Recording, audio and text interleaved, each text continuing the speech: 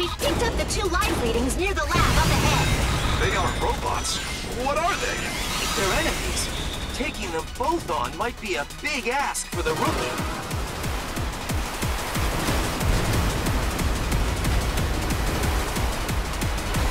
We sure went to a lot of trouble to make this lab hard to find. They must be doing experiments they don't want people to know about.